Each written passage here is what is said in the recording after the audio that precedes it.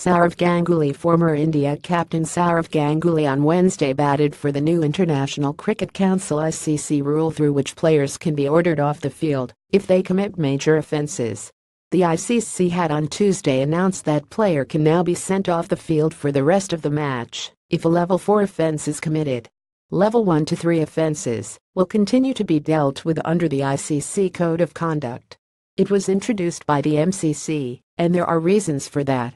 Lot of difficult situations occurred in low-level cricket outside India particularly in England or in South Africa. It is a good thing, Ganguly said. No one can understand the importance of it of such move unless video clippings are seen, he said while visiting a Durga Puja pandal here. Threatening to assault an umpire, making inappropriate and deliberate physical contact with an umpire, physically assaulting a player or any other person, and committing any other act of violence will be deemed level 4 offense warranting marching orders. The new rules will be effective from Thursday.